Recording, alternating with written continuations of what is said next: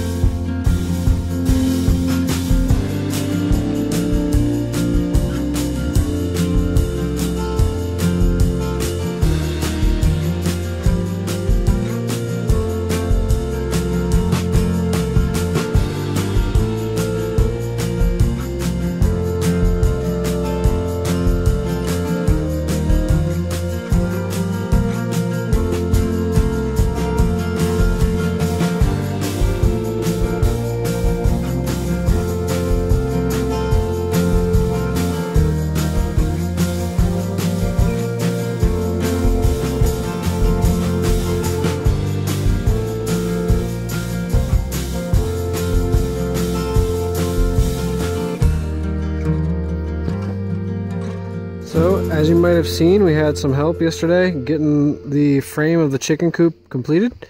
Um, we're using a bunch of scrap plywood, OSB, chipboard, and whatever you want to call it. We're using a bunch of that to sheath it, and we've started to put shingles on.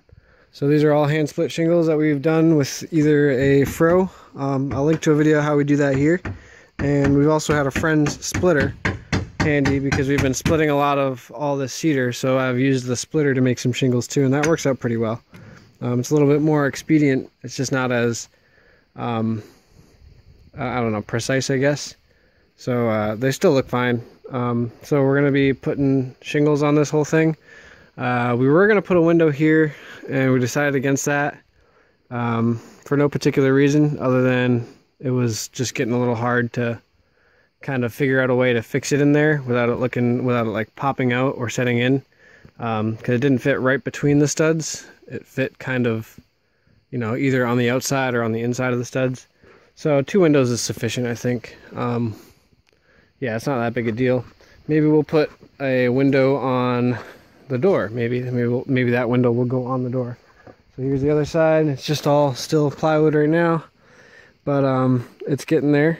So next step, now that we have it pretty much fully sheathed, is to try to get more sheathing on here. Pretty cool. We installed a little chicken door for them. Um, this is like an old piece of a gate or a door that we had hanging around. So that works pretty nicely. A little ramp for them to go in and out. Um, nice big window here for solar gain.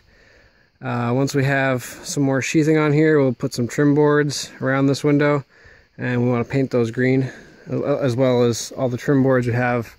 We'll like, you know, probably put trim boards along the corners and stuff like that too. Um, so next step is to get a roof on it. We've got some scrap roofing right here that we plan on using. And we were planning on decking the roof too with um, OSB just so the, the roof doesn't condensate on them, uh, you know, and drip on them in the winter. So we'll see if that's going to happen too. I think that's probably the next step. Then we got to figure out a door, and after that, they can pretty much live in it. So we have all walls up, and Michael's been hand splitting some shingles. These ones came out beautifully. You can tell cedar has nice straight grain. But yeah, it's getting done. We put hay in. Some roost up.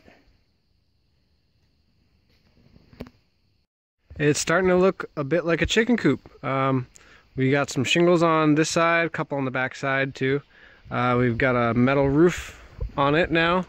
Um, we just still got to seal up a couple of uh, parts up here and down at the bottom and put a door on it. Uh, and then it's basically livable for chickens anyway. Uh, we're gonna keep shingling them as shingling it as far as we can. Um, gonna, I mean, we've got like unlimited cedar to split. So we'll keep making shingles and we'll keep putting them up because we don't want to have a plywood structure hanging around because we just don't really like the look of it. It looks a little bit haggard right now, but um, all free, all used material. Right. I don't know if I heard you, so. Oh, I said all free and all used material. Right. So yeah, this this has cost us zero dollars. Um, so that's pretty cool. Especially even cedar shakes. I mean, they're not all straight at the bottom. We kind of like the way they, you know, that looks anyway. So uh, cedar shakes costs like sixty dollars a bundle, and a bundle only covers I think 25 square feet or something like that. So I don't know how many bundles we would have needed to do this, but uh, it's uh, we love the way they, they look. We love the fact that it's cedar from our land. We're using indigenous materials. And, uh, you know, all this was cut before anyway. It's not like we had to um, cut any of it down. It's the, the trouble is finding ideal pieces to use. But uh, it's even even then, it's still pretty straightforward. Um, yeah, so we're, we're pretty happy with the way it's turning out. And we're going to keep steaming away at it. And uh, yeah, it'll be done soon.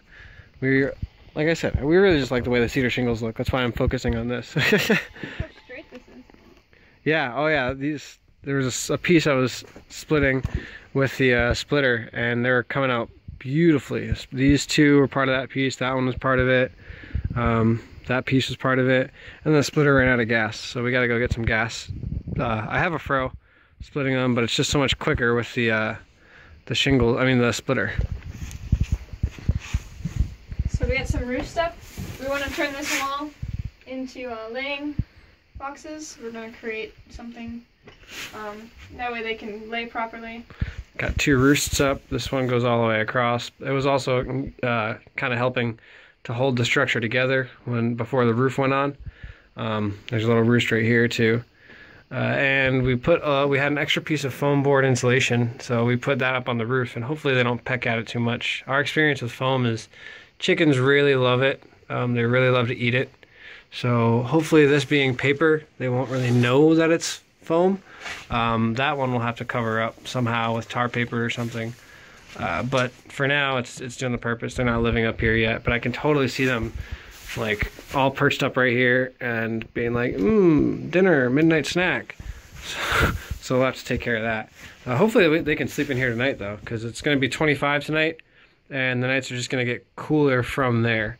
So uh, it's kind of a rush to get them in here.